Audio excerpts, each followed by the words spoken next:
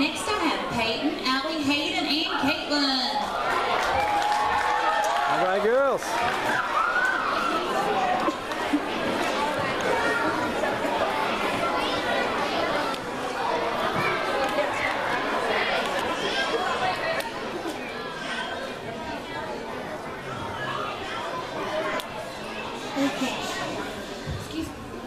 So there are three people waiting for the bus, snapping it for their fingers, and someone comes up and says,